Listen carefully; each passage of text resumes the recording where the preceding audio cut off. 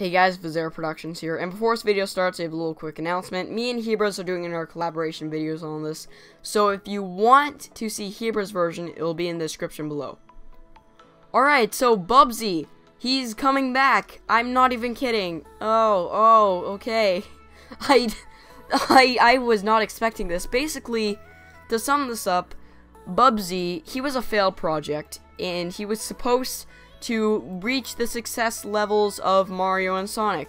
And it didn't go well. Sometimes when people try and make mascots, it goes well, like Rocket Knight Adventure. Sometimes it doesn't go well, like Awesome Possum and Bubsy. But Bubsy is actually getting his own game in 21 years. 21 years later, Gubsy, what's a Gubsy?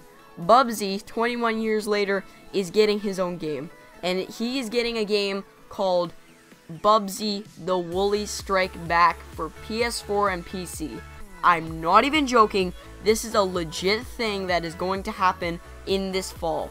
So, basically, fall, there's going to be a brand new Bubsy game, fall of this year, brand new Bubsy game. is going to be called The Woolies Strike Back. Oh, oh, oh my god, I don't believe it.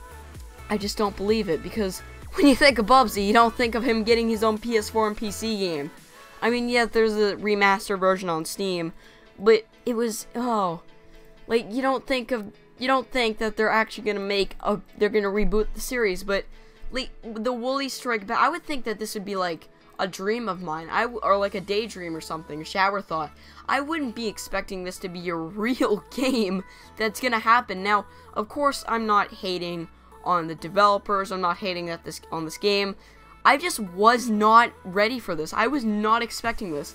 Of course, he was confirmed for Sonic Forces until he was dropped.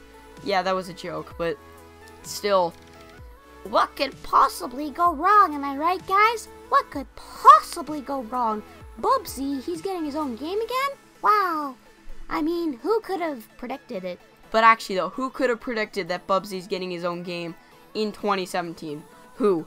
I I don't uh I I I just don't I don't know anyone who could have predicted this because the game looks the game looks okay. I think that the design of Bubsy looks kind of bad in my opinion, but still like no one could have predicted this. But I guess if this game is successful then oh, oh okay, then I guess we're gonna get a new Bubsy series and Bubsy will come back. Could you imagine though? Could you imagine though if Bubsy was rivaling like Sonic and Mario, or well, not as much for Sonic anymore because Sega's you know ruined him. But still, could you imagine Bubsy reaching the levels of success of Mario? I couldn't. I definitely couldn't. I don't. Uh.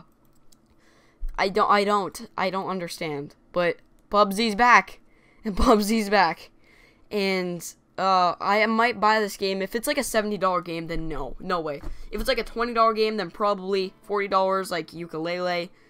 Uh, maybe, maybe not. I don't know. But, yeah.